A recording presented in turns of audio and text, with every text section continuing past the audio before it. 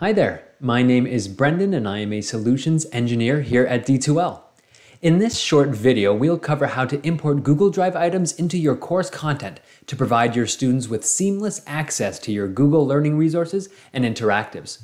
To begin, we'll navigate to Emily's course content via the Content Tool link in the navbar.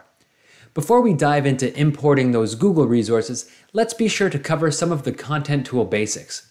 In the Content tool, Emily has access to unit folders and a standards alignment gauge so that she can be certain that her content is well organized and positioning her students for success.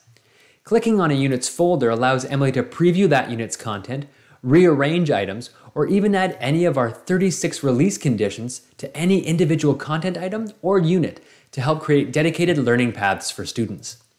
Different teachers may use the content tool in different ways. For example, some elementary teachers may treat it as their teacher binder, using it to organize and house learning materials that they'll share with their younger learners in small batches via daily activity feed posts.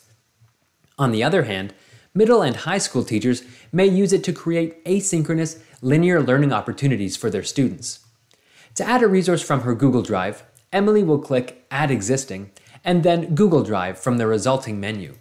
Once clicked, she'll be prompted to select the resource from the Google interface.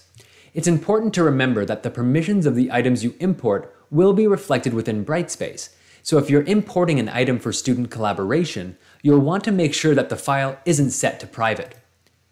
This import option is great if you want users to be able to edit, if applicable, or download a copy of the Google item.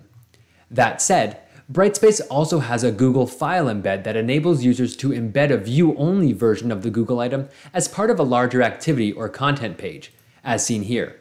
Same document, but two different options with two different use cases for integration. If you have any questions about importing Google Files into your Brightspace content or about the content tool itself, please don't hesitate to reach out to your D2L team. Thanks for watching.